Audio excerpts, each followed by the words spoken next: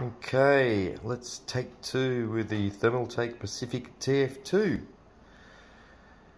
Uh, if any of you had the TF1, uh, you realise it was a wonderful unit. Uh, however, eh, there was a problem with some oh, leaking. So this one I just got.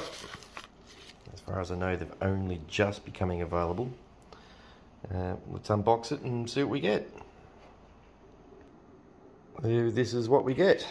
Okay, empty box. Uh, set of leads. That one looks like it's for the controllers, so that would be for probably RGB, maybe, or uh, yeah, we'll find that out. And a power lead. And note, look what they've done. They did what I suggested. They put a right angle plug on it. Much better idea at least it's somewhat neater than it was.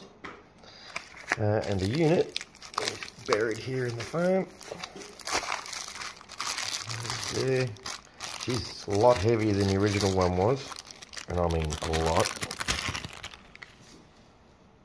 So there it is there. It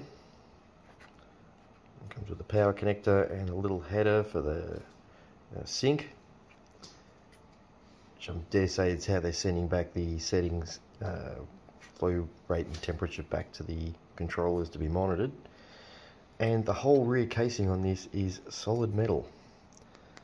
So the problem of the cracking in the existing one won't be an issue on this unit. Looks very well made. There we go. And solid brass. That's what you want to see.